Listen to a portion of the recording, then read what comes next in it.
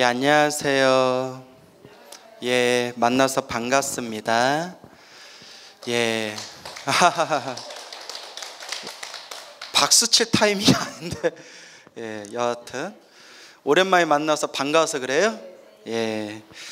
자, 우리 부처님의 가르침을 닦으면서 우리가 명심해야 되는 게 우리가 부처님의 가르침을 닦는 최종 목표가 성불이에요. 뭐라고요? 성불. 그래서 여러분 108참회문이라고 아세요? 예불 대참회문이라고도 부르고 108참회문이라고도 불리우는 옛날부터 내려오는 의식집이 있어요. 그래서 그 108대 참회문, 예불 대참회문에서 이런 구절이 나와요. 앞부분에. 제가 이제 발심하여 예배하오면 예배, 절을 하는 이유는 저 스스로 복을 얻거나 하늘 세계 태어나거나 성문 영각 보살의 경지를 구함이 아니라 오직 안욕 따라 삼맥 삼보리를 얻기 위함입니다 라는 표현이 나와요. 안욕 따라 삼맥 삼보리가 여러분 반야심경 독송하면 안욕 따라 삼맥 삼보리라는 구절 자주 나오죠. 여러분 다 아시는 뜻이겠지만 무상, 정등, 정각이라고 불러요. 따라해 보세요. 무상, 전등, 정각. 그래서 산스크리트어로 안욕따라 삼맥 삼보디. 그래서 우리 한문 표현으로는 안욕따라 삼맥 삼보리. 풀어서 무상, 정등, 정각. 무상은 없을 무, 위상, 위가 없다는 거예요. 위 없는 최고의 최상의라는 뜻이에요. 무상, 위 없는 최고, 최상, 정등, 바를 정, 같을 등, 바르고 평등하다는 거예요. 과거, 현재, 미래 모든 부처님께서 평등하게 깨달으신 진리라는 거예요. 정등, 바를 정, 같을 등, 바르고 평등하다. 정가, 바를 정, 깨달을 각. 그래서 바른 깨달음. 그래서 안욕 따라 삼맥 삼보리는 무상, 정등, 정각. 위 없이 최상, 최고의 바르고 평등한 바른 깨달음. 그러면 이 안욕 따라 삼맥 삼보리는 오직 누구만 깨달으신 걸까요? 오직 부처님만 깨달으신 거예요. 아라한이나 혹은 뭐 벽지불이나 혹은 어, 보살들조차도 깨닫지 못한 최상의 위 없는 깨달음. 그게 안욕따라 삼맥 삼볼이에요. 그래서 우리가 우리가 불교의 목표를 딱 세울 때 우리 불교의 목표가 단순히 나 스스로 복을 얻기 위함이 아니고 하늘 세계 태어나려는 것도 목적이 아니고 소승의 아라한이나 뭐 벽지불 같은 소승의 깨달음을 얻기 위함이 아니고 오직 부처님과 똑같은 위없는 최상의 최고의 깨달음을 얻기 위함이다. 한마디로 성불이라는 거예요. 성불. 근데 성불하기 위해서는 경전의 근거를 뒀을 때 부처님 말씀 경전의 근거를 두었을 때 성불은 마음만 깨쳤다고 성불하는 게 아니래요. 부처님과 같은 완전한 깨달음을 얻으려면 완전한 지혜와 완전한 그런 깨달음의 경지에 들어가기 위해서는 복해쌍수 따라해 보세요. 복해쌍수. 예, 참 따라라는 것도 잘 못 맞춰요. 복과 지혜를 쌍 쌍으로 함께 닦는다. 그래서 복해 겸수라고도 부르고 복해 쌍수라고도 불러요. 그러니까 복덕과 지혜를 함께 닦아야 된대요. 그러니까 마음만 깨달았다 해서 성불의 경지가 아니라 복덕, 지혜, 신통, 자비를 완벽하게 갖추셔야 돼요. 그래서 이것을 뭐라고 표현하느냐? 따라해 보세요. 원망 구족. 예. 그 부처님의 경지, 부처님 깨달음의 세계를 원망구족이라고 해요. 원만, 원만은 완전하다란 뜻이에요. 완전하다. 우리가 흔히 사람 둥글둥글한 성격 좋은 사람들 보면 성격이 참 원만하십니다라는 표현 쓰죠. 근데 이제 우리가 원만 구족이라고 표현할 때 원만은 완전하다라는 뜻이에요. 하나도 흠이 없이 완전하다. 구족, 구족은 모든 것을 갖추었다라는 뜻이에요. 갖추다. 그러니까 원만 구족하면 완전하게 갖추신 거예요. 그래서 여러분 부처님 제자들 중에서 완전한 그런 어떤 깨달음의 경지에 이르러서 번뇌와 망상이 없고 욕망이 다 사라지신 거룩한 성자를 아라한이라고 해요. 그렇죠. 근데 아라한도 부처님하고 비교해 보면 하늘과 땅만큼 차이가 있대요. 그래서 여러분 아라한도 신통이 있는 아라한이 있고요. 신통이 없는 아라한이 있어요. 설법을 잘하는 아라한도 있고 설법을 잘 못하는 아라한도 있어요. 복이 많은 아라한도 있고 복이 없는 아라한도 있어요. 여러분 아라한 하면 무조건 완전한 거룩한 성자다라고 생각했죠. 근데 아라한도 신통이 있는 아라한, 신통이 없는 아라한, 설법을 잘하는 아라한, 설법이 잘 못하는 아라한, 복이 많은 아라한, 복이 없는 아라한도 있대요. 그러니까 아라한들도 천차만별 차이가 있어요. 하지만 완벽하게 원망 구조, 모든 걸 완벽하게 갖추신 분은 오직 누구시다? 부처님. 그래서 그 원망 구족해지는 그 방법이 무엇이냐? 여러분들이 불교 공부하면서 귀가 따갑도록 들으신 육바람일 공덕이에요. 무슨 바람이? 육바람일. 그래서 보시, 지계, 인요, 정진, 선정, 반야지에 이 여섯 가지를 완벽하게 닦아서 이 여섯 가지를 완벽하게 성취하신 분이 부처님이세요. 그래서 원망 구족이에요. 그래서 이런 육바라밀의 공덕을 닦아서 성취한 것을 바라밀 공덕이라고 불러요. 무슨 공덕?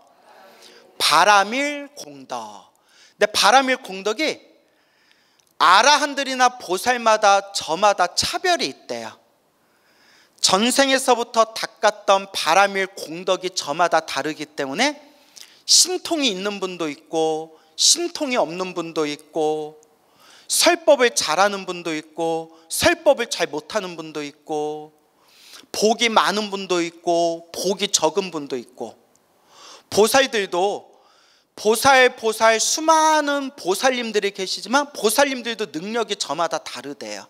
그래서 아직 수준이 낮은 보살을 소보살, 수준이 점점 높아지는 보살들을 중보살, 가운데 중, 중보살, 수준이 아주 높은 보살님들을 대보살 그리고 관세음보살, 지장보살, 문수보살, 보현보살처럼 거의 부처님하고 비슷한 그런 어떤 신통과 자비와 복과 지혜를 갖추신 분들을 보살, 마하살이라고 부르는 거예요. 알겠죠? 그래서 이것은 무슨 공덕에 의해서 서로 저마다 차별이 있다? 무슨 공덕? 5분 전에 얘기한 거 벌써 다 잊어먹었어요. 그렇죠. 바람일 공덕이라고 했잖아요. 그러면 이 바람일 공덕을 완벽하게 갖추신 원망 구족하신 분이 누구시다? 부처님. 그래서 경전에 보면 부처님께서도 늘 우리 중생들에게 복을 지어라, 선업을 지어라, 공덕을 지어라 늘 말씀을 하시는 겁니다. 그래서 제가 여러 번 여러분들한테 말씀을 드렸고 또 여러분들 하도 많이 들어서 아마 귀에 다들 익숙한 이야기 중에 아나율 존자의 이야기가 있어요. 그렇죠. 아나율 존자. 제가 자주 말씀드린 이야기잖아요. 아나율을 저쪽 어 이제 언어로는 아누르따라고도 불러요. 아누르따. 아누르따라고도 부르고 우리 한문 문화권에서는 아나율이라고 부르는데 천안 제일이세요. 무슨 제일? 천안 제일. 하늘색의 눈을 얻어서 천안통 완벽하게 모든 세계를 다 꿰뚫어 보는 신통력을 갖추신 천안제일 아나율 스님 혹은 아누르따 스님이라고 불러요. 아누르따, 아나율 다 같은 분이세요. 근데 여러분들 다 아시는 얘기겠지만 이 아나율 스님이 머리 깎고 출가해서 어느 날 부처님이 설법 하시는데 부처님 설법 하시는 그 앞에서 꾸벅꾸벅 졸고 있었대요. 그 자비로우신 부처님께서 수많은 사람들 보는데 앞에서 그 아나율 스님을 호되게 꾸짖으셨대요. 이게 다 부처님이 깊은 뜻이 있는 거예요. 부처님은 다 계획이 있으세요. 부처님이 사람들 앞에서 정말 좀 너무하다 싶을 정도로 호되게 야단을 치고 꾸짖고 창피함을 주니까 아나율 스님이 그때 딱 마음에 맹세를 합니다. 내가 깨달음을 얻기 전까지 뭐 하지 않겠다? 잠을 자지 않겠다. 그래서 그날 이후로 잠을 자지 않고 등도 땅바닥에 대지 않고 오로지 앉아 있거나 걸어 다니거나 서 있으면서 오로지 수행에만 집중했대요. 하도 잠을 자지 않으니까 눈이 점점 충혈되고 충혈된 눈이 이제 눈병이 생겨가지고 눈에서 진물이 줄줄 흘렀대요. 눈에서 이제 눈물이 줄줄 흐르고 나중에는 막 진물이 진물이 뚝뚝 떨어져도 끝까지 잠을 자지 않고 수행하고 수행하다가 눈이 딱 멀어버렸어요. 장님이 됐어요. 하지만 눈이 멀었지만 순간 모든 번뇌와 망상이 산산이 부서지고 모든 욕망이 다 사라진 거룩한 성자 아라한이 되십니다. 아라한이 되면서 육신의 눈은 잃었지만 모든 세상을 자유자재로 꿰뚫어 보는 무슨 제일이 되세요? 천한 제일이 되세요. 그 이제 천한 제일 아나율 스님의 이야기에 아누르다. 하도 많이 들어서 여러분들 다 아시는 이야기죠. 아니 그렇게 얘기했는데 다들 표정이 들어도 새로워요? 예, 저도 참 법문 준비하기가 참 편해요. 했던 얘기 또 해도 항상 새로워. 그죠? 자, 이제 웃자고 한 말이고. 근데 여기 이제 아주 또 중요한 얘기가 나오잖아요. 이것도 제가 여러분들한테 평소에 많이 드리는 말씀인데, 아나율 스님이 어느 날 바느질을 하려는데, 바늘에 무엇을 꿰기가 힘들어요? 씨를 꿰기가 힘드니까, 왜냐면 육신의 눈이 멀어버렸잖아요.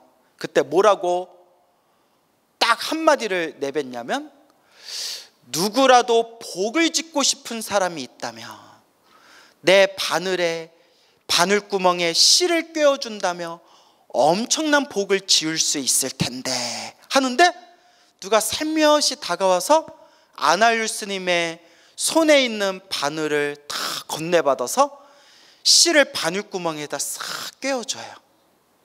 그때 아나율 스님이 너무 고마워서 그대는 누굽니까? 지금 복을 지은 그대는 누구십니까? 하니까 뭐라고 했어요? 네 스승이다야. 부처님께서 깨워주신 거예요. 그대여, 그대의 스승 열의 세존이니라. 아이고 부처님, 부처님께서는 모든 복을 다 완벽하게 이루셨는데 복과 지혜를 원만 구족하셨는데 무슨 복을 더 지을 게 있어서 바늘구멍에 씨를 꿰어주시는 겁니까? 그렇잖아요. 부처님은 모든 걸 완성하신 분인데 굳이 또 당신이 직접 와서 바늘구멍에다가 다 씨를 꿰어주면서 그때 부처님께서 이렇게 말씀하십니다. 그런 말 하지 말아라. 세상에서 복을 짓기를 가장 좋아하는 존재가 있다며 복 짓기를 가장 좋아하는 존재가 있다면 그건 바로 누구일 것이다? 부처님일 것이다. 왜냐? 복이 있어야 중생을 제도할 수 있기 때문이다. 아함경에 나오는 말씀이에요. 참 이 말씀이 너무 멋있어요. 나 잘 되려고 복을 짓는 것도 아니고 나 행복해지려고 복을 짓는 것도 아니고 나, 내 가족, 일이 술술 풀리라고 복 짓는 게 아니라 부처님께서는 오직 중생제도 부처님께서 말씀하시기를 복이 있어야 무엇을 할 수 있느니라 복이 있어야 중생을 제도할 수 있기 때문이다. 그래서 부처님은 모든 중생을 제도하겠다고 원력을 세우셨기 때문에 세상에서 가장 복을 짓기 좋아하는 존재가 있다면 바로 누구일 것이다? 부처님일 것이다. 라는 말씀을 하십니다. 그만큼 복이 중요한 겁니다. 우리가 이 속가, 새 속에서 잘 먹고 잘 사는 것도 복이 있어야 되고, 우리가 부처님의 가르침을 공부하는 것도 복이 있어야 수행을 잘할 수가 있어요. 여러분들 귀가 따갑도록 드리는 말씀. 복이 있어야 좋은 스승을 만나고, 좋은 도반을 만나고, 좋은 도량을 만날 수가 있다. 복 없는 사람은 이번 생 사람으로 태어나 부처님 법을 만났는데도 복 없는 사람들은 사이비절에 다녀요. 여러분들 그런 분들 보신 적 있죠? 예, 많잖아요. 예, 여기서 제가 뭐 대놓고 얘기할 수는 없지만 우리 주변에 이상한 사이비 종교들 많고 그러니까 사이비 절들도 많아요. 저 아시는 저 찐팬이라는 분들도 그런 데 가셔가지고 멋모르고 사기당하시고 그러다가 법문 듣고 강의 들으면서 부처님 가르침 다시 제대로 공부하겠다고 공부를 시작하신 분들이 여러 명 있어요. 사람으로 태어나고 부처님 법을 만나기가 어려운데 사람으로 태어나 부처님 법을 만나긴 만났는데 어디를 가요?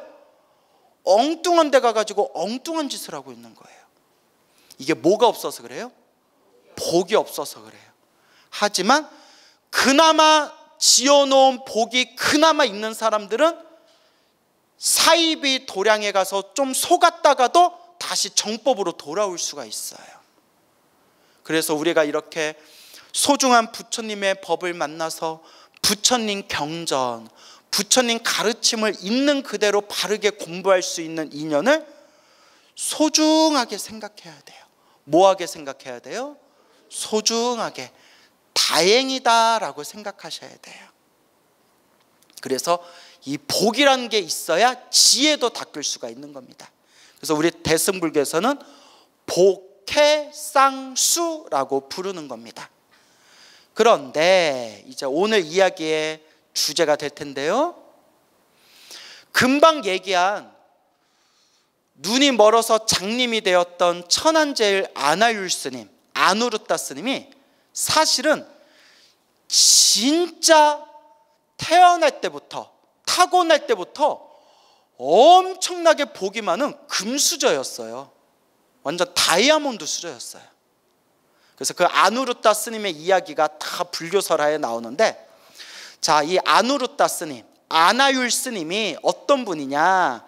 어렸을 때부터 놀라지 마세요. 없다라는 단어를 몰랐대요. 없다라는 말을 이해를 못했대요. 어휴 기가 막혀. 무슨 말을 이해하지 못했다? 없다라는 단어를 이해하지를 못했대요. 다 클 때까지. 왜냐? 원하는 게 있고 바라는 게 있으면 항상 뭐 했기 때문에?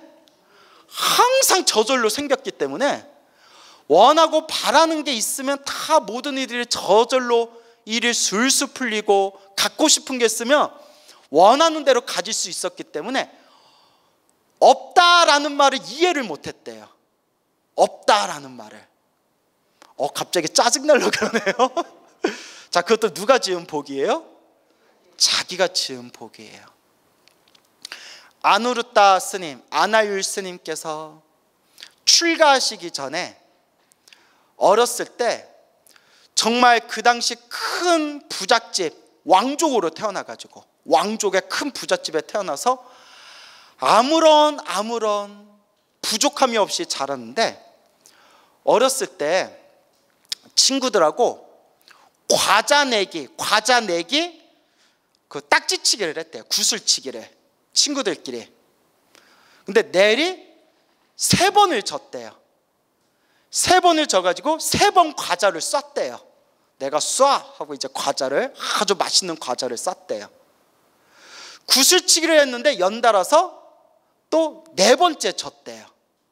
네 번째 져가지고 또 하인을 불러서 내가 구슬치기에서 또 졌으니까 과자를 가져와라. 그래서 하인이 가서 과자를 담는데 엄마가 그걸 봤대 어머니가. 저 과자를 몇 번째 가져가는 거냐? 예, 아까 세 번째 갖다 드리고 이번에 네 번째 과자를 가져가는 겁니다. 아, 애가 너무 철이 없구나. 너무 애가 이렇게 부족한 거 없이 너무 풍요롭게만 살다 보니까 참으로 철이 없구나. 그리고 가서 아누르따에게 이렇게 전해라. 과자가 없습니다. 없습니다 라고 전해라. 그래서 하인이 가가지고 아누르따 막 놀고 있는 어린 아누르따에게 도련님 과자가 없습니다. 큰마님께서 과자가 없다라고 전하라고 하셨습니다. 하니까 어 그래? 처음 듣는 과자 이름인걸? 없다 과자라도 가져와라 이렇게 얘기를 했대요. 없다라는 말을 이해를 못 해가지고 없다라는 말이 과자 이름인 줄 안 거예요. 어, 없다 과자라도 가져와라. 그래서 하인이 다시 아누르따 어머니 큰마님한테 가가지고 없다라는 말을 이해하지를 못하시고 그래 없다라는 과자라도 가져와라라고 말을 해가지고 제가 더 이상 할 말이 없어서 돌아왔습니다. 어떡할까요, 많이? 아이고 구구 너무 귀하게만 키웠구나. 물론 사랑하는 내 아들이 원하는 모든 일을 다 들어줄 수 있지만 이렇게 키워서야 나중에 나이가 들어서 나중에 사회생활할 때 이래가지고 어떻게 이 집안을 이끌고 사업을 하고 어떻게 일을 도맡아서 할 수 있겠는가? 지금부터라도 좀 가르쳐야 되겠다라는 생각이 들어서 없다라는 걸 가르쳐 주기 위해서 황금 젖시에다 뚜껑을 덮어가지고 텅 비어 있는 접시, 텅 비어 있는 황금 접시를 하인에게 주면서 이걸 도련님한테 아나율에게 갖다 드려라. 뚜껑을 열고 과자가 없이 텅 비어 있는 걸 보면 아 이게 없다라는 뜻이구나라는 걸 드디어 깨닫게 될 것이다 하고 뚜껑을 덮어서 빈 접시를 보냈대요. 그래서 빈 접시를 들고 하인이 빈 접시를 딱 들고 이제 딱지치기 친구들하고 과자 내기 딱지치기 하고 있는 아나율한테 가는데 이 모습을 하늘색의 신들이 이렇게 보고 있다가 딱 이렇게 생각하는 거예요. 저 아나율, 어린 아나율은 과거 전생에서부터 복을 많이 지은 존재이기 때문에 저렇게 빈 접시를 갖다 줘서 아무것도 없다는 걸 알게 되면 크게 실망하게 될 것이다. 복이 많은 아나율을 누구라도 도와주자, 우리라도 도와주자 해놓고 청상의 신들이 신통력으로 뿅 하면서 하늘 세계에서 먹는 과자를 접시에다가 싹 넣어줬대요. 그리고 아무것도 모르는 그 하인이 뚜껑이 덮여 있는 황금 적시를 아나율에게 갖다 주면서 이게 없다라는 과자입니다. 한번 보십시오 하고 뚜껑을 열어줬는데 뭐가 있는 거예요?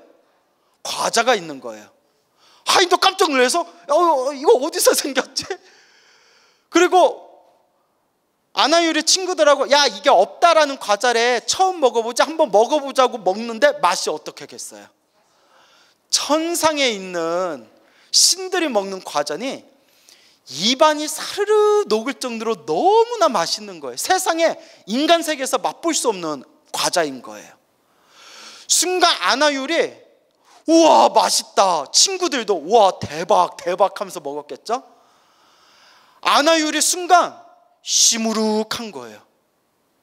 순간 시무룩하고 막 서운해하는 거예요. 이렇게 맛있는 과자를 이제야 주다니. 이렇게 맛있는 과자를 나한테 이제야 주다니. 엄마는 사실 나를 사랑하지 않았구나. 이 맛있는 과자를 혼자만 드시다가 이제야 주시다니 하고 삐진 거예요.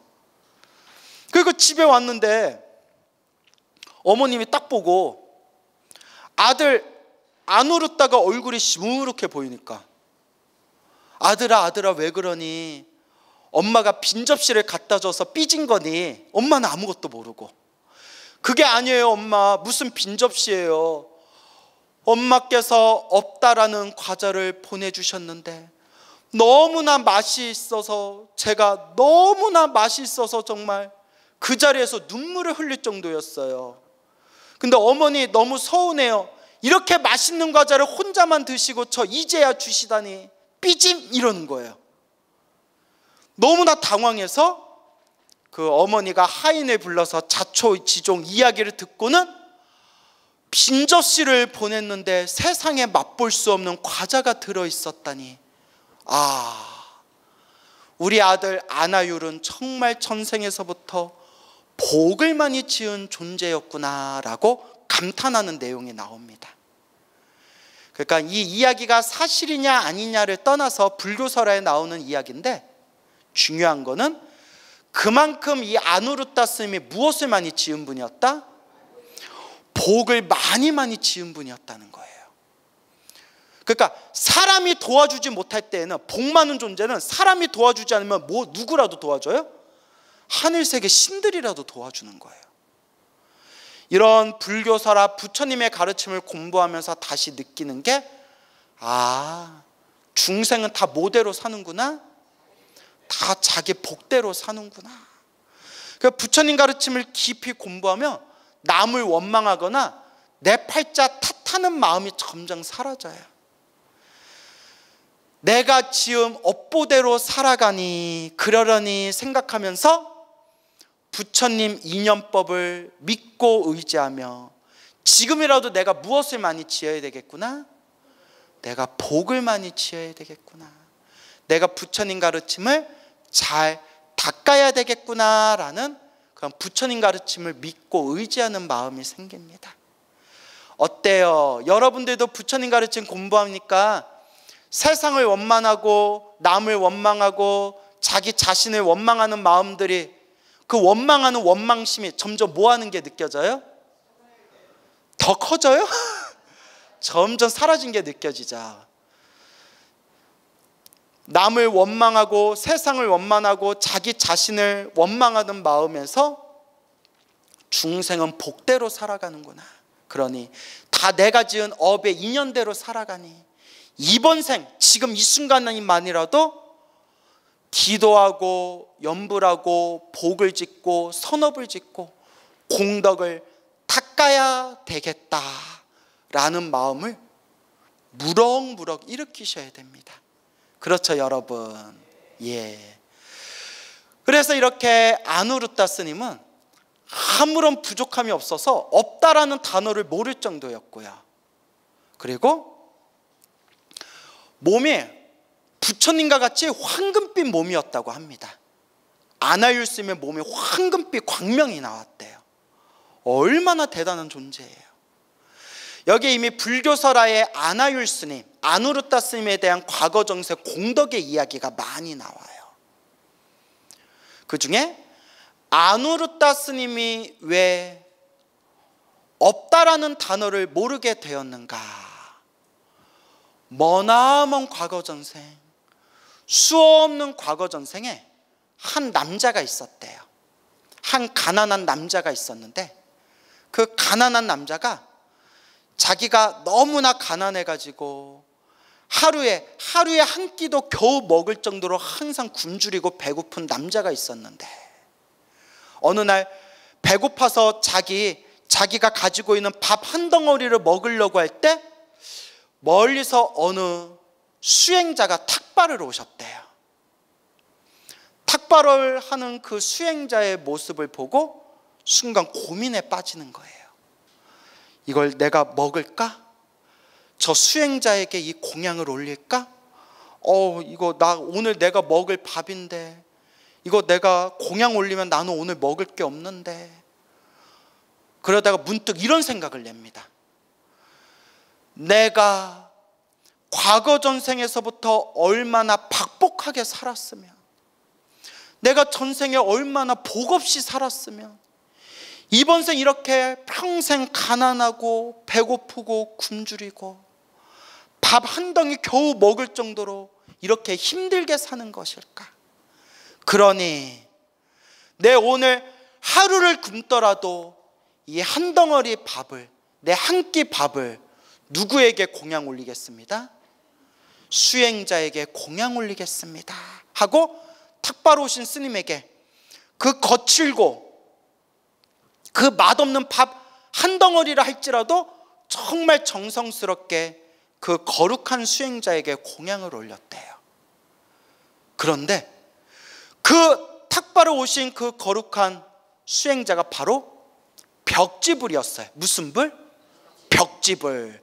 벽지불. 예전에 다 설명드렸죠? 예, 또 갑자기 새롭게 느껴지는 분들이 있어요. 벽지불은 영각, 독각이라고도 부르고요. 영각, 독각이라고도 부르고 또 우리 예불문에 나오는, 나오는 독수성, 독수성 나오죠. 예. 독수성이 바로 영각, 독각, 벽지불이에요.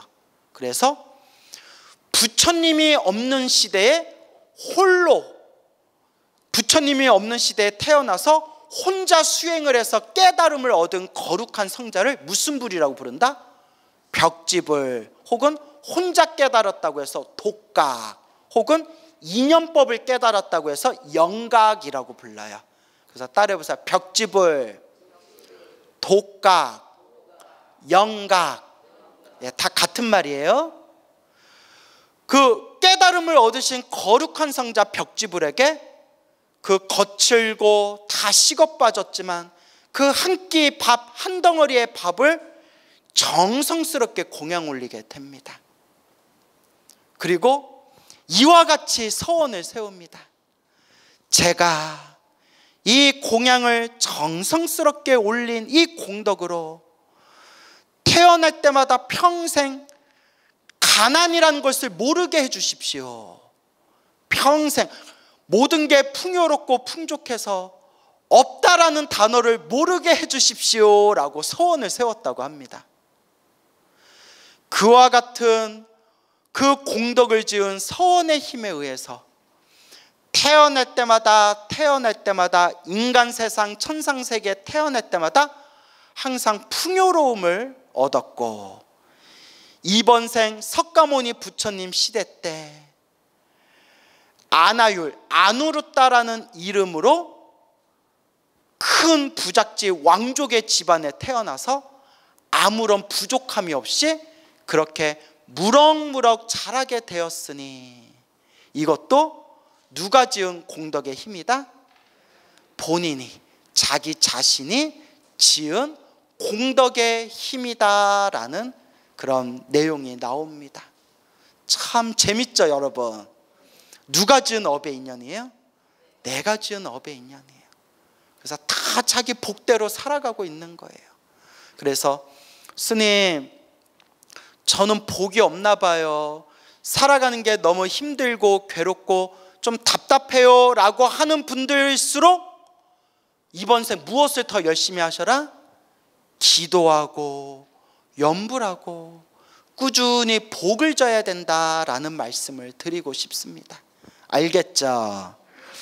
이랬던 이제 안우르다가 그 부처님께서 깨달음을 얻으시고 부처님의 그 나라에 그 부처님의 나라의 어, 고향을 카필라국이라고 해요. 석가모니 부처님의 고향이 카필라국. 한자로는 가비라라고도 부르거든요.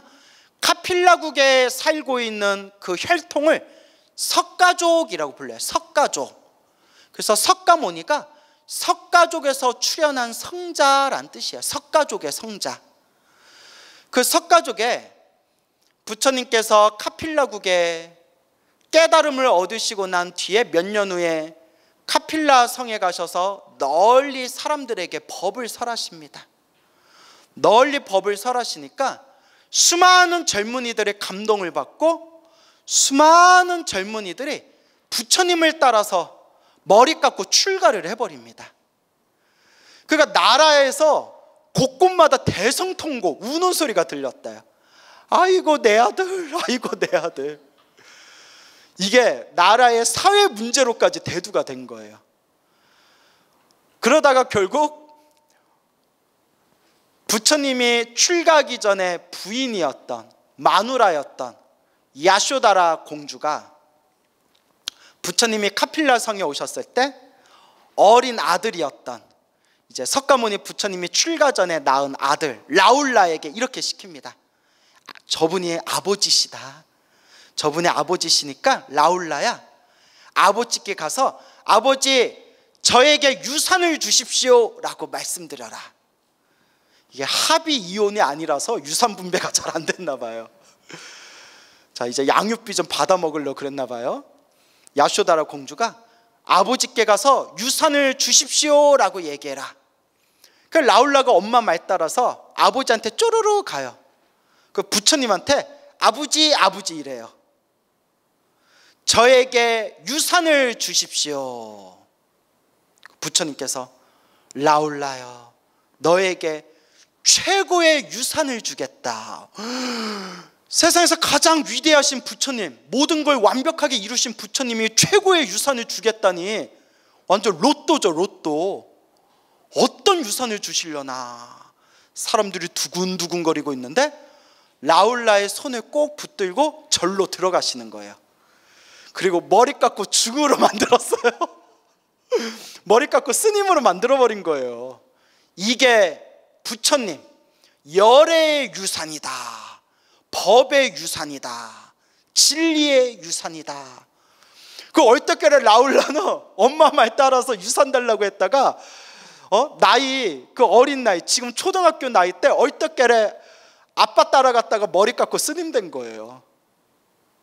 야쇼다라는 막 갈갈이 옷을 찢으면서 정말 슬피 울었고 자신의 손주, 자신의 후계자가 될 왕자였던 자신의 손주인 라울라가 출가했다는 얘기를 듣고 아버지 정반왕 슈토다나 왕도 막 비통에 빠지게 됩니다. 그리고 부처님께 찾아가서 아버지였던 정반왕 슈토다나 왕이 석가모니 부처님께 강곡하게 청을 올립니다. 부처님, 너무나 많은 젊은이들이 집을 버리고 부처님을 따라 머리 깎고 출가하니 곳곳에서 가족들의 울음소리가 들립니다. 그리고 저의 사랑하는 친손자 라울라가 부처님을 따라가서 머리 깎고 출가했다는 얘기를 듣고 제 가슴이 너무나 아픕니다. 그러니 부처님, 어린아이가 출가할 때에는 반드시 부모의 허락을 받게 해주십시오. 라고 청을 올리게 되고 부처님께서도 그 청을 받아들이시면서 아직 미성년자인, 지금 말로 미성년자, 아직 나이가 어린 사람이 출가할 때에는 반드시 부모님이나 보호자의 허락을 받고 출가해야 된다라고 부처님께서 딱 류를 제정하시게 됩니다. 그럼 뭐해? 이미 라울라는 휙 날아가 버렸는데. 자, 그래서 그와 같이 수많은 석가족의 왕자들, 귀족들, 젊은이들이 이제 출가를 하면서 아나율 집안에서도 우리 우리 집안, 우리 혈통, 우리 가문, 우리 석가족의 위대하신 우리 십다르타 왕자님께서 머리 깎고 출가하셔서 저렇게 위대하신 부처님이 됐는데 우리 집안에서도 한 명 정도는 머리 깎고 출가해야 되지 않겠느냐. 그 당시 석가족 왕족 사이에서 집안에 남자 한 명은 머리 깎고 출가하는 게 유행처럼 번졌나 봐요. 그랬을 때 그 아나율 집안에 형이었던 형, 형이 동생 아나율을 불러서 말합니다. 아나율아, 너나 나나 둘 중에 한 명이 머리 깎고 출가해야 될 텐데 네가 출가할래? 내가 출가할까? 어, 형 출가하면 뭐 하는 거예요? 출가하면 머리 깎고 누더기 가사 있고 맨날 뭐 바리떼 들고 탁발하고 부처님께 법문 듣고 수행하고 공부해야 된다. 아이고 그 재미없어라. 아유 난 못해 먹겠습니다. 그래? 그러면 내가 출가할게 네가 집안의 사업을 맡겠느냐? 제가 가문의 사업을 맡겠습니다. 우리 가문의 사업이 무엇입니까? 어, 별로 어렵지 않다. 우리 가문은 대대로 농사를 지었으니 때마다 씨를 뿌리고 밭을 일구고 잡초 뽑아야 되고 하인들 부려야 되고 또 재물도 계산해야 되고 모두 해야 되고 모두 해야 되고 이것도 관리하고 저기 또 관리해야 된다 했더니 아이고 못하겠습니다. 그렇게 머리 아픈 걸 제가 어떻게 하고 삽니까? 저 그냥 뭐 하겠습니다? 머리 깎겠습니다. 해가지고 아나율 스님이 농사 짓기가 싫어서 집안일 하기가 싫어서 머리를 깎고 출가했다라고 불교설에 전해지고 있습니다.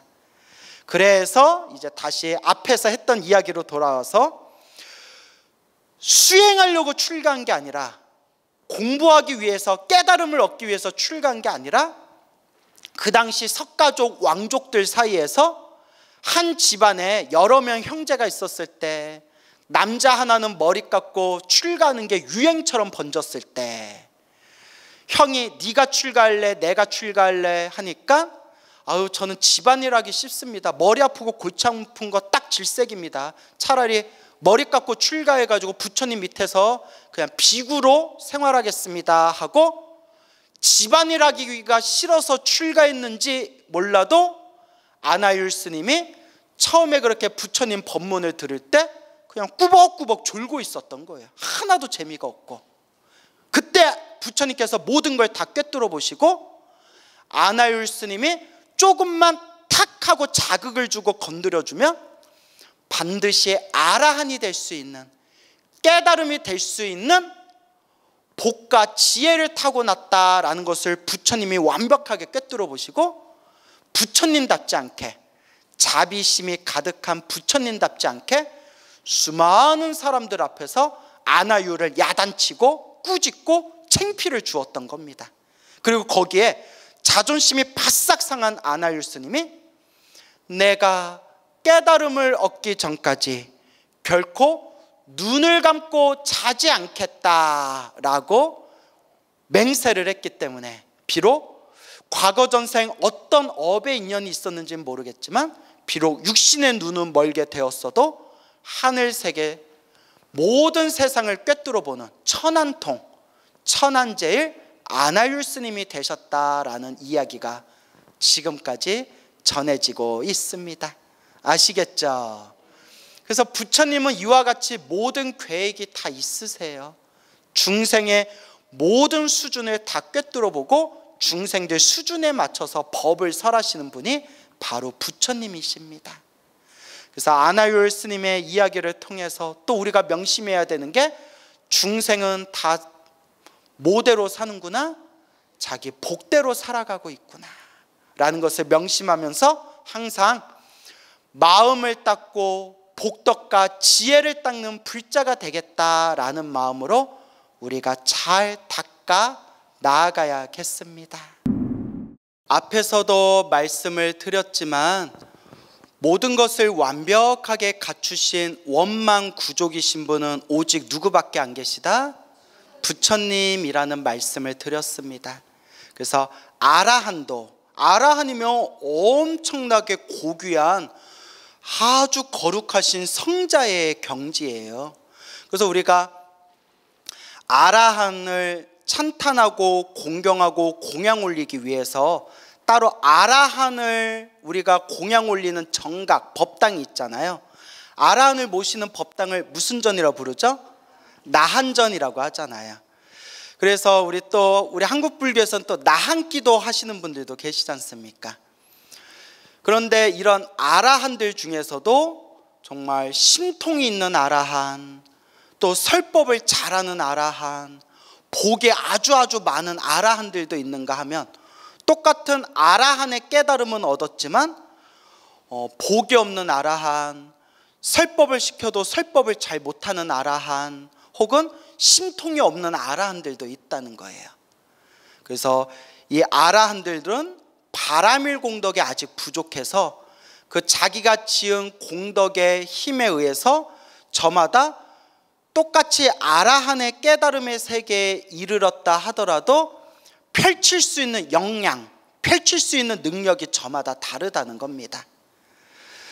그래서 부처님 불교설에 보면 정말 재밌고 신기하고 정말 놀라운 그런 불교설화의 스토리들이 굉장히 많은데 부처님 당시에 어느 한 아라한이 있었어요. 아라한. 이 고귀하고 고결하고 거룩한 아라한의 경지에 이르신 분이었지만 어딜 가나 탁발을 해도 탁발을 제대로 얻을 수가 없었대요. 항상 음식을 제대로 얻을 수가 없었대요. 그래서 탁발을 하고 탁발을 해도 항상 배불리 먹을 수가 없었기 때문에 많은 사람들이 저분은 저렇게 고귀한 아라한이신데도 왜 저렇게 탁발을 나가기만 하면 저렇게 음식을 잘 얻지를 못할까? 라고 사람들이 의아할 정도로 그렇게 또 복이 없는 아라한이 있으셨대요. 그리고 또 어떤 제자가 있었는데 부처님 제자 중에 지금도 부처님 가르침에 이름이 아직도 또렷하게 기록되어져 있는 여섯 명의 말썽꾸러기 비구들이 있었어요.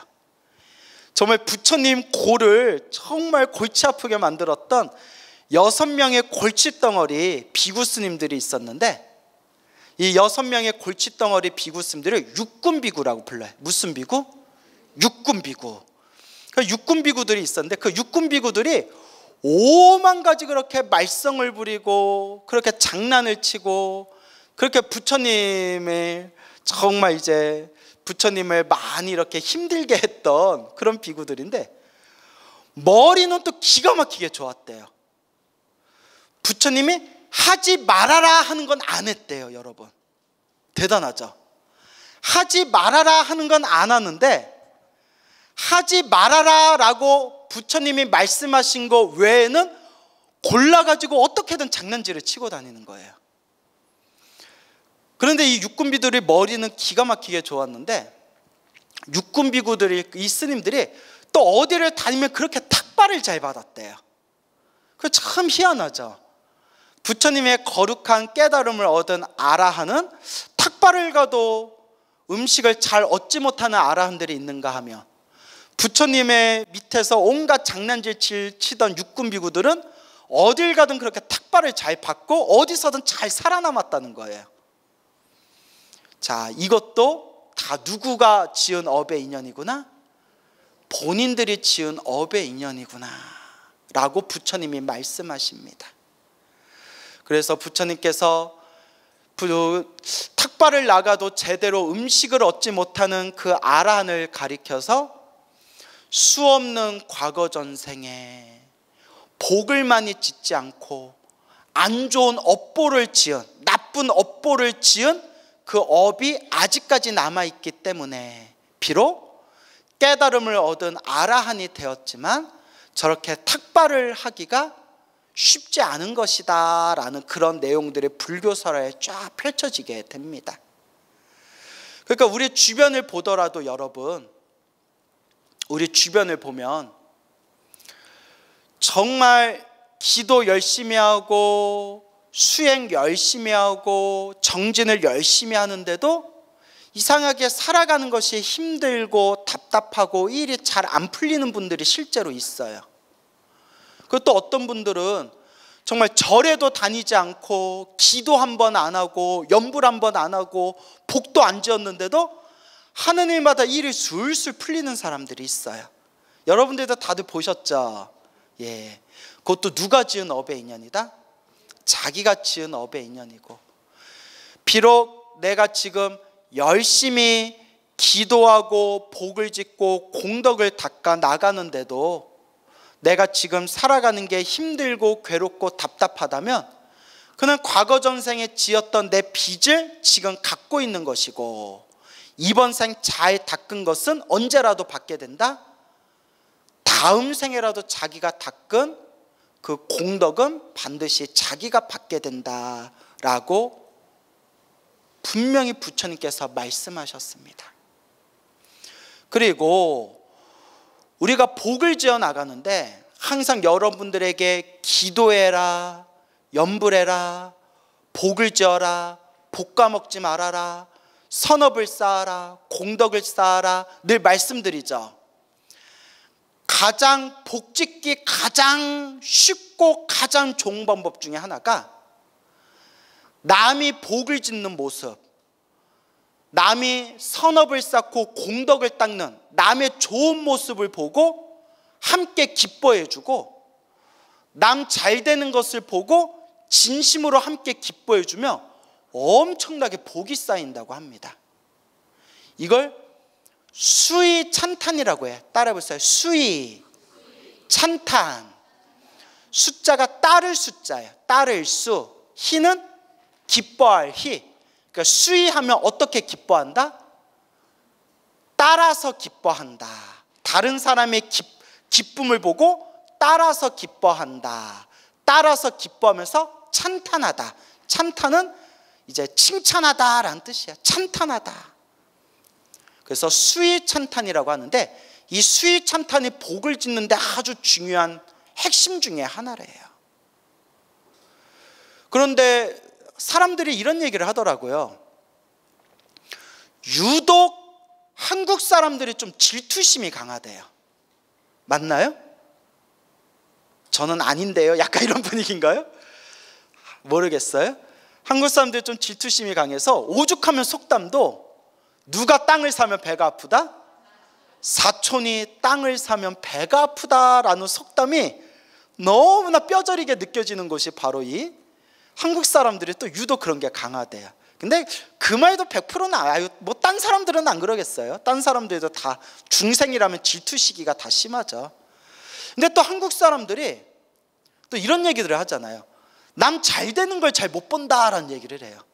남 잘 되는 걸 잘 못 본다 라는 말도 하고 또 좀 칭찬에 인색한 것 같다라는 말도 해요. 요 말은 맞는 것 같아요. 실제로 외국에 나가면 굉장히 칭찬을 잘한대요.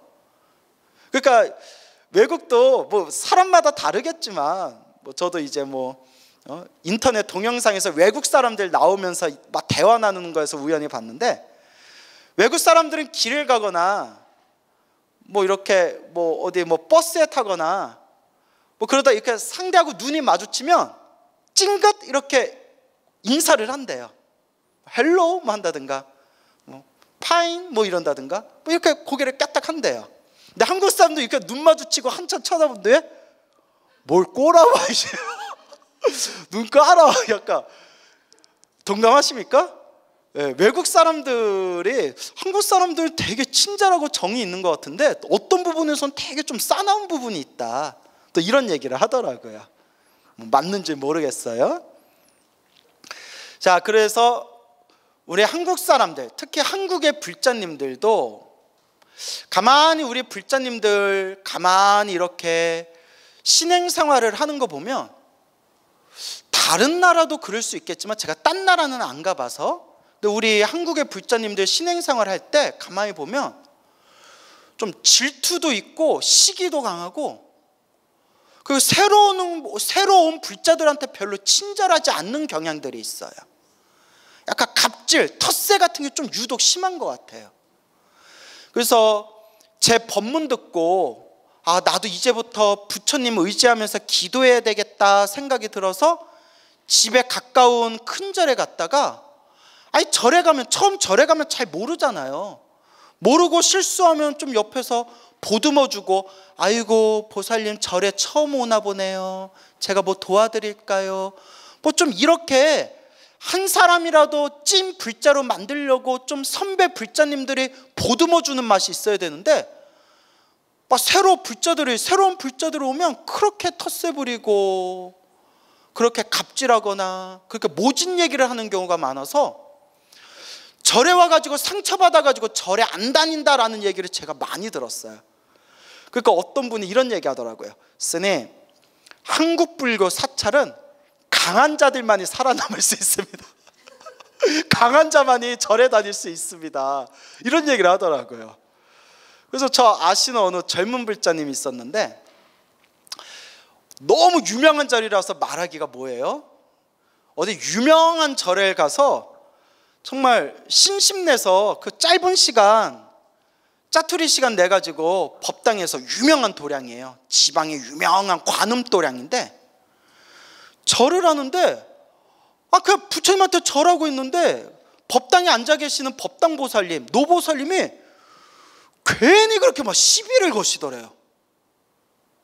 뭐 모진 얘기를 툭툭 던져. 그냥 정말 자기는 아무 생각 없이 절만 하고 있었는데 뭐 머리 모양이 그게 뭐냐, 어, 옷이 그게 뭐냐, 뭐 기도하려고 왔어? 뭐 이렇게 비꼬듯이 왜 그런지 모르겠는데 그래서 막 엉엉 울었대요.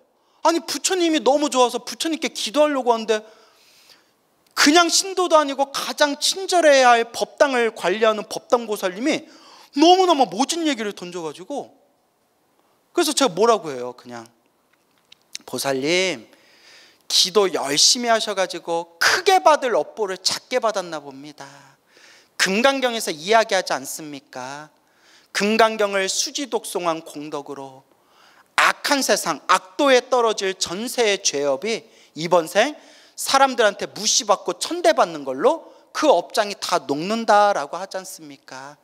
크게 받은 걸 작게 받았다고 생각하십시오. 이렇게 이제 말씀을 드렸는데 아 저도 좀 찹찹하더라고요. 불자라면 우리 항상 큰 스님들한테 법문 들으면 항상 자비심, 자비심, 자비라는 말을 많이 듣잖아요. 그냥 남한테 적극적으로 친절과 자비심을 펼치지는 못할 망정 저렇게 기도하러 온 사람한테 저렇게까지 얘기해야 되나라는 생각이 들더라고요. 제 말에 동감하시는 분들이 많은가 봐요. 고개를 끄덕끄덕거리시네요. 아니면 뭐 졸고 있는 거 내가 지금 꾸벅꾸벅 졸고 계시네요. 그래서 남이 잘하는 모습을 보면 같이 기뻐해 주고 남이 잘 되는 걸 보면 질투하고 시기하고 구업으로 내리깎는 게 아니라 잘한다, 잘한다, 수위 찬탄해 주는 것만으로도 엄청난 공덕이 쌓인대요. 근데 사람이 열심히 이제 기도를 하더라도 마음을 잘 못 쓰면 마음을 잘 못 쓰면 기도빨이 잘 안 들더라고요, 여러분. 그런 걸 많이 봤거든요. 근데 또 신기한 게 기도를 많이 하시는 분이 자기 마음은 잘 못 쓰면서도 자기가 마음을 잘 못 쓴다는 걸 알까요, 모를까요? 몰라요. 그래서 알고 짓는 업보다 모르고 짓는 업이 더 무섭다라고 하는 거예요. 알고 짓는 업은 내가 죄라는 걸 알기 때문에 부끄러워하고 참회하고 멈추려고 노력한다는 거예요. 지금 당장은 못 끊어도 내가 이러면 안 되는데 이러면 안 되는데 내 죄를 내가 알기 때문에 부끄러워하는 마음이라도 있다는 거예요. 모르고 짓는 업은 자기는 자기 어, 죄업을 모르기 때문에 자기 잘난 줄 알고 계속 어리석음에 빠져서 똑같은 죄업을 계속 반복하고 있다는 거예요. 부끄러움이 없다는 거예요. 그래서 알고 지은 죄업보다 모르고 지은 죄업이 더 무섭습니다 라고 불교에서 말하는 겁니다. 그래서 여러분들도 뭐 여기 앉아 계신 분들은 다 잘하실 거라 믿, 믿지만 또 지금 이 동영상을 보고 계시는 많은 불자님들이 계실 거 아니에요? 마음을 자꾸 변화시켜야 돼요. 남을 막 칭찬해 주는 못할 망정 남한테 모진 얘기는 하지 말고 예? 눈가에 먹물을 쏙 빼먹어서 창자로 줄넘기를 넘을까, 넘을까 보다 뭐 이런 얘기 있잖아요 어, 너무 과했나요? 아니 이제 예, 그런 말을 쓰면 안 된다고 알겠죠? 절대 그런 말을 쓰면 안 돼요 음. 음? 영화에서 봤어요 영화에서 예. 제가 뭐 어떻게 하겠어요 예. 그러니까 이런 모진 얘기를 쓰면 안 되고 여러분 뭐 당연히 불자니까 이런 모진 얘기는 안 쓰겠지만 자기도 모르게 툭툭 던지면서 사람 가슴에 못을 박는 경우가 있어요. 저도 얼마 전에 황당한 일을 겪었는데, 예, 예. 뭐 하여튼, 뭐, 그래서 그런 경우를 우리가 살펴봤을 때 남한테 자꾸 그래도 좋은 얘기 해주려고 좋은 습관을 들이고, 그렇죠. 그리고 남에게 칭찬해 주려고 좋은 습관을 들이고, 남의 좋은 일을 보면 하, 얼마나 잘 되나 보자가 아니라 저 사람이 복을 많이 지어서 저렇게 일이 잘 풀리는가 보구나. 감사합니다. 감사합니다. 하고 축원해 주고 수위 찬탄 함께 기뻐해 주는 습관을 자꾸 들으셔야 된다는 거예요. 알겠죠? 예. 근데 이게 쉽다 어렵다. 어려우니까 마음 공부예요. 그래서 마음 공부예요. 그래서 마음을 자꾸 그렇게 닦아 나가는 거예요. 부처님 가르침에 이런 말씀이 있어요. 옛날 옛적 머나먼 옛적에 석가모니 부처님 이전에 가섭 부처님 시대 때 어느 부처님? 가섭 부처님. 가섭 부처님 시대 때 어느 수다원, 수다원이라는 깨달음을 얻은 거사님이 있었대요. 수다원 다 알고 계시죠? 우리가 아라한이 되는데 4단계가 있다고 했죠. 1단계가 수다원, 그 다음에 사다함, 그 다음에 아나함, 마지막이 아라한. 요 정도는 외워두시면 좋아요. 수다원, 사다함, 아나함, 아라한. 수다원의 경지에 딱 들어가게 되면 다음 생, 다음 생, 7생 안에 아라한이 될 수 있대. 몇 생 안에? 7생. 그러니까 아라한 거룩한 성자가 되는 걸 보장받은 게 수다원이에요. 하이패스예요. 하이패스. 수다원에 딱 들어가면 묻지도 말고 따지지도 말고 7생 안에 아라한이 될 수가 있대요. 그 수다원의 특징이 뭐냐면 수다원도 아직 번뇌와 망상이 남아 있는 상태지만 번뇌 망상이 있는 상태지만 수다원이 되면 첫 번째가 믿음이 확고해진대요. 믿음이 청정해지고 확고해진대요. 어떤 일이 생겨도 부처님에 대한 믿음이 흔들리지 않는 게 수다원이에요. 두 번째가 수다원도 번뇌망상이 있고 실수를 저지르지만 저절로 저절로 오계를 완벽하게 지킨대요. 무엇을? 오계를. 그래서 살생하지 말라, 어, 도둑질하지 말라, 삿된 음행을 하지 말라, 거짓말하지 말라, 술 마시지 말라. 술을 마시더라도 취할 정도로 안 마신대요. 오계를 완벽하게 지키는 게 수다원의 경지예요. 이런 수다원의 깨달음을 얻은 거사님이 어느 날 배를 타다가 배가 난파가 돼가지고 무인도에 떨어졌대요. 무인도에 이 수다원을 얻은 거사님과 전혀 부처님의 가르침도 잘 모르고 깨달음도 얻지 못한 평범한 거사님이 같이 무인도에 떨어졌대요. 그래서 무인도에서 완전 난파당해가지고 무인도에 몇 날 며칠을 머무르면서 도저히 먹을 게 없으니까 무인도에 막 새가 많았대요. 새. 새들이 많으니까 이 평범한 거사가 먹고 살려고 새들을 잡아서 새들을 죽여가지고 구워 먹고 볶아 먹고 새 요리를 하면서 버텼대요. 그런데 이 수다원의 깨달음을 얻은 수다원 거사님은 수다원의 경지가 되면 부처님에 대한 믿음이 흔들리지 않고 오계를 완벽하게 지키게 된다라고 말씀드렸죠. 살생하지 말라라는 계율을 지키기 위해서 풀뿌리 씹어먹고 나무 껍질 씹어먹고 어디 조그만 그런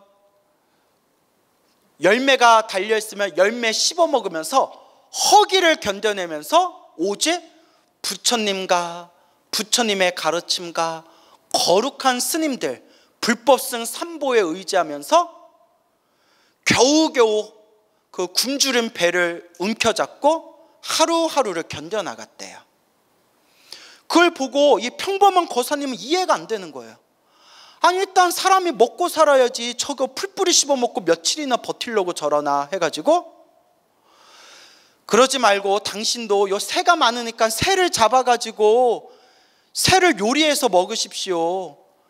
언제 배가 나타날지 모르고 언제 우리가 무인도에서 탈출할 줄도 모르고 자칫하면 무인도에서 평생 살 수도 있는데 그렇게 고집 부리지 마시고 새를 잡아다가 요리해서 먹으십시오. 하지만 글쎄 우리 같은 범부 중생이라면 마음이 흔들릴 수도 있을 거예요. 그래 일단 먹고 살아야지. 아 일단 먹고 살아가지고 살아서 부처님 은혜 갚아야지. 부처님도 내 마음 이해하실 거야. 그저 부처님 thank you 뭐 이러면서 새 잡으러 다닐 수도 있었을 거예요.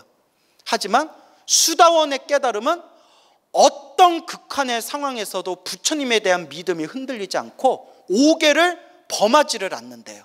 그 수다원이 번뇌망상이 있는 상태지만 그래도 일반 중생들 입장에서 봤을 때는 굉장히 깊은 깨달음이에요 그래서 부처님 경전에 보면 이 우주를 통째로 준다 하더라도 수다원의 깨달음과 바꾸지 않는다.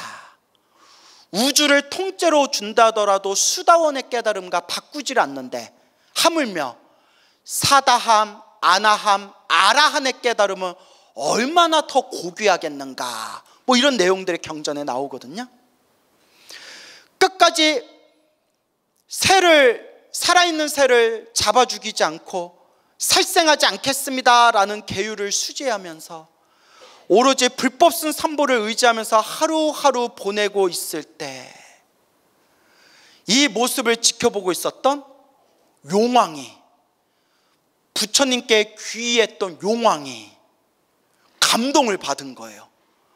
이야, 참으로 착하다, 착하다. 선제로다 선제로다 착하다 그래서 용왕이 심통용으로 뿅 하고 큰 배를 만들어 가지고 뱃사공 배를 어? 배를 이끄는 뱃사공이 돼서 선장이 돼서 배를 가지고 용왕이 뱃사공으로 변해서 배를 가지고 섬에 딱 도착합니다. 자, 육지로 돌아가실 분은 이 배에 타십시오. 그때 이 수다원 거사님이 어 배가 왔구나. 부처님의 가피입니다 하면서 딱 배에 탔어요.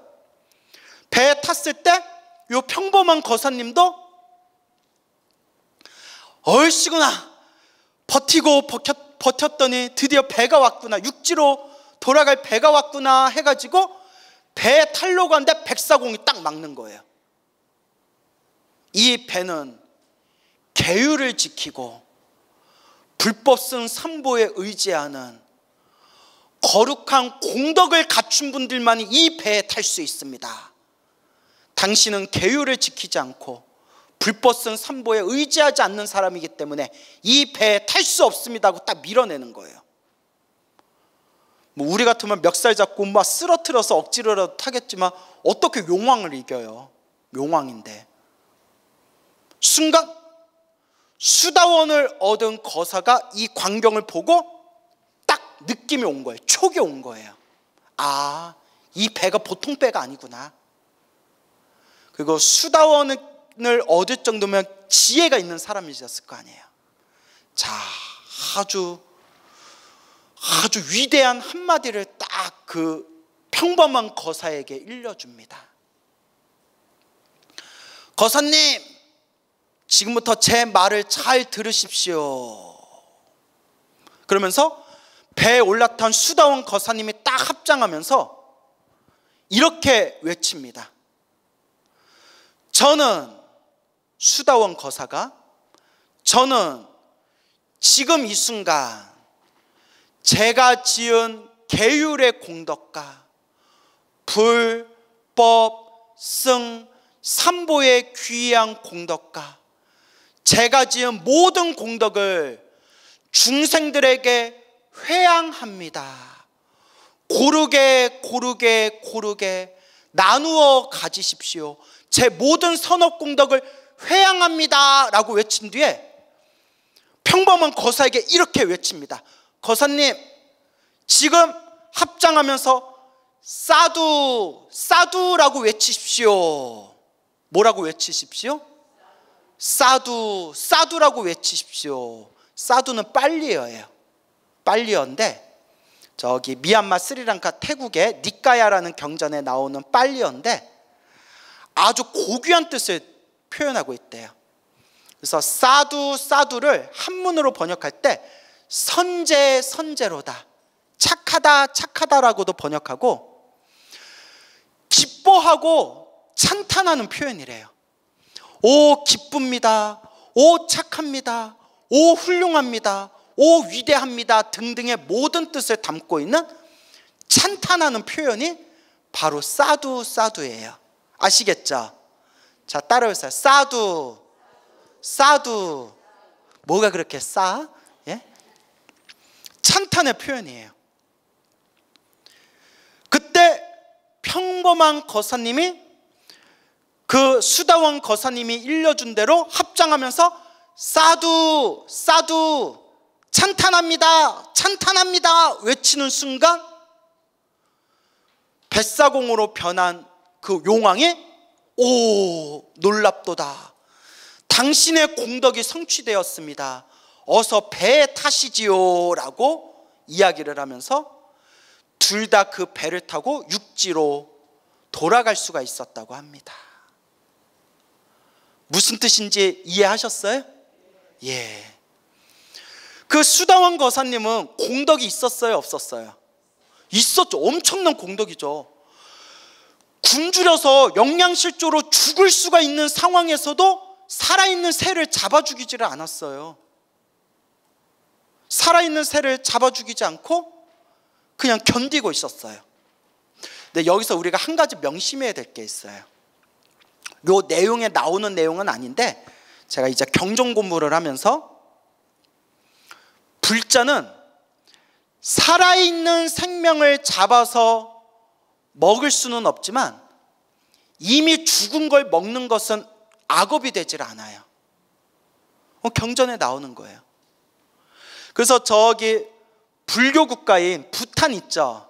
부탄. 그 완전 불교 국가인데 제가 예전에 코로나 직전에 부탄에 여행을 간 적이 있었는데 성지순례 그때 놀라운 얘기를 들었어요.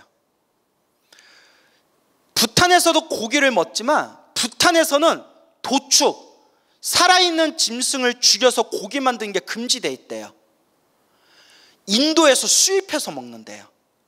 그리고 부탄은 소를 풀어놓고 사는데 소 중에서 어쩌다가 지나가는 차하고 부딪혀서 죽는 소가 있대요. 소가 죽었다라는 소문이 들리면 그날이 마을 잔칫날이래요. 그러니까 이미 죽은 거는 먹는 거예요. 근데 이게 야 아다르고 어다르다라고 할 수 있지만 경전에도 분명히 나와요. 어, 일단 우리 대승불교에서는 고기 자체를 먹지 않는 것이 선업이에요. 지장경에도 나오지만 고기 자체를 먹지 않는 것이 선업이지만 좀 초기 경전이나 부처님 계율에 대해서 설법하고 있는 룰장을 보면 계율에 보면 이미 죽어 있는 거는 먹어도 된다라는 내용이 나오기는 나와요. 하지만 고기 자체를 안 먹는 게 선업이죠. 실제로 고기 안 먹고 기도하면 기도빨을 더 빨리 받거든요. 하여튼 이제 한 예예요. 이 얘기를 왜 하느냐? 그 평범한 거사가 자기는 어차피 손에 피를 묻혔잖아요. 새를 잡아가지고 자기 먹는 김에 조금 이미 죽은 거 떼어가지고 수다원 거사님께 드렸으면 먹었다 안 먹었다? 먹었을 거예요. 그는 계율에 어긋나지가 않으니까. 근데 제가 이 내용을 보면서 야 그것 좀 그거 새 잡은 김에 좀 떼가지고 좀 수다원 거사도 좀 나눠 먹지 지 혼자 처먹고 아주 그냥 네, 그런 생각이 들더라고요. 어 얄미워. 그런데 수다원 거사는 자비심이 있었어요. 그렇게 얄밉고 살생의 업보를 저지른 거사였지만 살생의 업보를 저지른 거사였지만 뭐라고 방법을 가르쳐 주냐? 내가 내가 계율을 지킨 공덕, 불법선 삼보를 믿고 의지한 공덕, 그리고 내가 지금까지 지은 공덕을 모두 다 중생들에게 회양하겠습니다. 라고 본인이 공덕을 지었고 그 평범한 거사에게 가르쳐 준 방법이 남이 지은 공덕, 내가 지은 공덕, 남이 지은 공덕을 싸두 싸두 하면서 따라서 기뻐하고 찬탄하십시오. 그 방법을 가르쳐 주고 그 평범한 거사가 싸두 싸두 당신의 공덕을 찬탄합니다. 그 사람 남이 지은 공덕을 찬탄해 준 것만으로 그 평범한 거사는 무엇을 얻게 되었다? 용왕이 인정할 만한 공덕을 얻게 되었다. 라는 뜻이 되겠습니다. 수위 찬탄이 얼마나 중요한지 이제 이해가 가시죠? 예. 그래서 우리 불자들이 항상 명심해야 됩니다. 우리 불자님들 참 절에 열심히 다니고 복을 많이 짓는 불자님들도 계시지만 또 복을 짓고 절에 열심히 다니고 기도 다니면서도 요 마음 씀씀이를 옹졸하게 쓰시는 분들도 많아요.